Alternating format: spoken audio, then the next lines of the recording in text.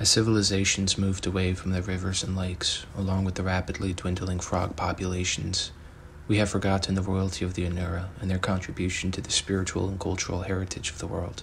The frog symbolizes a triad of realms, a triple aspect of creation, transformation, and rebirth, representing the stage of a frog's life. As a tadpole from water, transforming to an adult on land, and hibernating under earth or mud during winter, emerging from the underworld in the spring. This triple aspect is its most universal symbology, but by no means all that the frog represents. Magic, death, fortune, disease, rain, birth, resurrection, poison, shamanism. The frog, as an amphibian, could traverse water, land, and the spiritual or underworld at will. The frog is a trickster magician in some cases and a psychopomp in others. It is one of the earliest and most prominent symbols in the ancient world, serving as the long lost origin and prototype for some of the most recognizable themes in religion, spirituality, and royalty. The first of all the gods is Nu, personifying the primordial chaos and the creator of reality. From the watery abyss of creation emerged a mound. On this mound grew a lotus flower that gave birth to the first sun, to Ra. Nu is the father of the gods and one of the eight primordial beings called the Ogdoad. Nu is depicted as a man with an anthropomorphic frog head. Nu, Amen, He, and Kek are the four primordial frog gods. Their female counterparts are Anet, Amenet, Hahet, and Kakhet, who are depicted with serpent heads. Amun was one of the most popular gods in Egyptian religion and would be fused with Ra as Amun Ra. The mother goddess and creator of humanity in Chinese mythology is Nuwa. She molded humans from clay and is herself an aquatic deity being the only survivor of an apocalyptic flood along with her brother Fuxi. Although she is depicted as having a dragon or serpent body, her name, Nu, means woman, and Wa is thought to mean frog. She was likely, originally, a frog goddess. In another Chinese flood myth, a god created 24 suns to dry the flood. This eventually led to drought, and the frogs decided to swallow 22 of the suns, leaving only two lights, the sun and moon. Vietnamese, Cherokee, and Japanese myths all explain eclipses as a frog temporarily swallowing the sun or moon. In this San rock art, it appears to be the creation of man from frogs. The Penobscot, a Native American nation, have a tale of a giant frog who swallows all the water in the world, leading to drought. A hero, the first man, hunts the frog and releases the water. In an Aboriginal Australian creation myth, a greedy frog swallows all the rivers and lakes. The other animals work together to return the water. In Taiwan, there is a legend of a fisherman who catches a frog and discards it, but the frog transformed into a kid and would become the founder of an important family.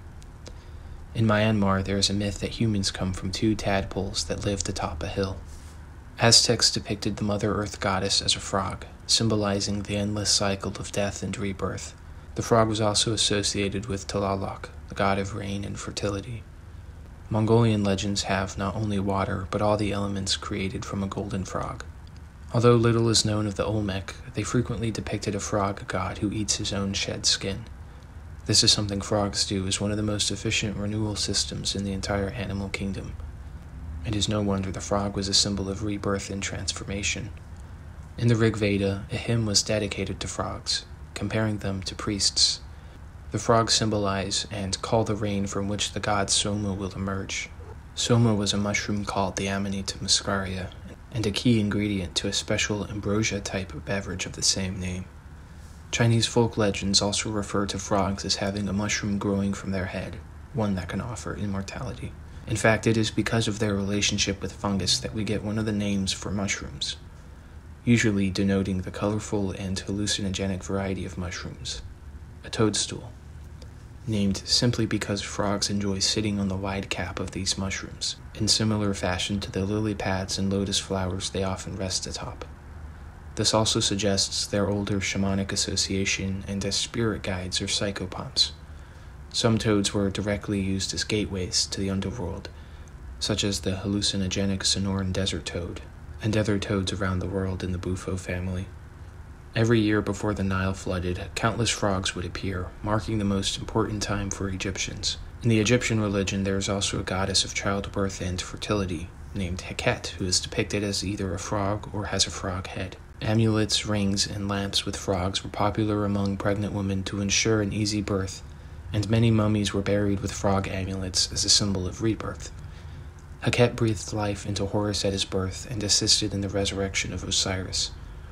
This symbol of frogs and resurrection extended to Jesus. Among early Christians, these lamps and amulets gained the inscription, I am the resurrection. Heket would find herself in the Greek pantheon as Hecate, the goddess of magic, crossroads, boundaries, sorceries, necromancy, and the moon. She was a triple headed goddess and would be the predominant triple moon goddess and symbol of witchcraft through the Dark Ages into modern Wiccan and neo pagan movements. Although her main animal would be the dog, her association with the frog would never fully leave. Frogs became one of the main symbols of witches and witchcraft in medieval Europe. They were familiars of witches, used in love spells, and famously transformation. The Frog Princess is a widespread fairy tale of a beautiful princess who is transformed into a frog, or else is an enchanted being taking the form of a frog. The tale involves three princes who are seeking wives. One brother finds the frog princess and through mistakes must go on a quest to redeem himself. The tale usually involves a witch of some sort, such as the Baba Yaga, who always has three forms. It's similar to the Frog Prince fairy tales, Frogs are also featured in several of Aesop's fables, and the Greek comedian Aristophanes wrote a play called The Frogs, which won first place during an Athenian festival of Dionysus. In the play, Dionysus is trying to bring back Euripides from the dead, a poet who had died the year before. To summarize the only part where frogs feature, Dionysus is being led across the river Styx in the underworld by Charon, where a chorus of frogs annoy him. He gets into a debate with the frogs, and this ultimately devolves with Dionysus singing loudly back at the frogs their very chorus. The frogs involved in a tale of a journey to the underworld to bring someone back to life show us further the role of frogs as psychopomps and resurrection. A Chinese monk named Liu Haichan has a three legged frog companion named Chanchu. Liu Chan can fly anywhere on Chanchu. This frog would be known as the money frog and is a popular feng shui charm for prosperity. However, Chanchu also appears in another older myth. It is in this myth that we can confirm the triple aspect of the frog. Chanchu represents the moon and can be seen on the surface of the full moon. She has three legs because of the three phases of the moon. She is also represented by the Little Dipper and is an aspect of Chang'e, the goddess of the moon, the wife of Hou Yi, who received the elixir of immortality.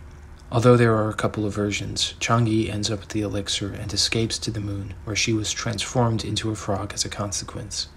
Although she is most associated with a rabbit, the frog may be an older iteration. In any case, the frog represents lunar yin. Indeed, frogs use the full moon to coordinate breeding events, and although they generally don't migrate more than a couple of miles, they will use the sun, moon, and stars to navigate. The life cycle of the frog then symbolizes this trio of birth and water, land and fertility, rebirth and the underworld, the phases of the moon, or the triple aspect of the goddess. Slavic legend gives us water spirits called the Vodyanoi. These are usually depicted as some sort of elder frog entity. The frog in ancient Mesopotamia represented fertility and life, and many frog artifacts have been found, which is true for most of the world. The Sumerian Babylonian trinity of gods, Nimrod, Tammuz, and Semiramis, were crowned with a frog symbol, one that also crowns Aztec gods and is used in various cultures across the ancient world, a symbol called the fleur de lis. It is quite simply a stylized frog. The most famous use of the fleur de lis is in French heraldry. The Merovingians used the three frog symbol, most famously King Clovis. He changed the symbol from the frogs to the fleur de lis during his conversion supposedly from a dream or vision. Even if the fleur de lis is directly named after the water lily, it is a symbol which is still associated with the frog who sit upon it. Brewer's dictionary supplies more evidence of this association. The frog symbol was probably so common that it became stylized, which we can see easily in modern times with company logos. Only the origin of the symbol was forgotten, and with it the royalty the frog denoted and bestowed. The triple aspect of the frog is something we've all probably seen. The most common art, photographs, and paintings of frogs is in a trio. This is a painting I grew up with, the hidden symbolism staring at me my whole life. A frog's skin changes color before rain. Pigmented cells in their skin expand due to the humidity. Frogs were kept as barometers because of that. Other folklore include croaking at certain times indicating rain or the death of a frog, drought. Frog medicine is popular, such as putting a live toad in the mouth to cure thrush or wearing a dried frog to prevent epilepsy. There are many types of frogs, and some certainly have medicinal qualities and compounds on their skin that they use to protect themselves from predators, bacteria, and fungal infections. The legendary toadstones, magical stones said to be found in the skulls of some frogs, would glow in the presence of poison and could be used to cure all kinds of poisons and venoms. I imagine the toadstone is probably related to the older association of the mushroom of immortality growing from the head of a frog. In alchemy, the frog was the prima materia, the raw material that could be transmuted to anything else. It shows the creative and transformative symbols of the frog persisted. They were also used in an attempt to grow a human, called a homunculus. This parallels the creation myths of man coming from frogs. In the Old Testament is a plague of frogs sent to Egypt. In the book of Revelation, three frogs are referenced as coming out of the mouths of the dragon, the beast, and the false prophet. The pre Columbian Quimbaya culture has very little that remains, save for some ornate gold artifacts, some of which are golden frogs and what appears to be a frog and mushroom goddess, suggesting this was an important figure of their beliefs. The frog is truly ubiquitous across human culture, sometimes worshipped as the creator deity or as the bringers of rain and fertility. The phases of life, death, and rebirth, travelers between worlds, tricksters and magicians, transformation and resurrection, medicine and poison, luck and prosperity, princes, princesses, trinities, shamanism, and the moon itself. The Anura have special significance to humans. They are irreplaceable in the ecosystem, and they are an ancient race of creature, such as this great Beelzebufo. However, frogs are royal because uncontested, for their thrones sit upon the lotus and toadstool, the most sacred of Earth's immortal fruit. It is the kind of casual regality that is unquestionable as they lounge on the gateways between worlds, absorbing the entheogenic substances through their bellies, no doubt royal psychopomps croaking up stories we could only dream of seeing. And for all of life's most wild and inexplicable situations we find ourselves only one reasonable suggestion can be posed. Oh, what? Where are we? I don't know. What did we do last night? Mayhaps we drank juice of the Elder Toad. I doubt it.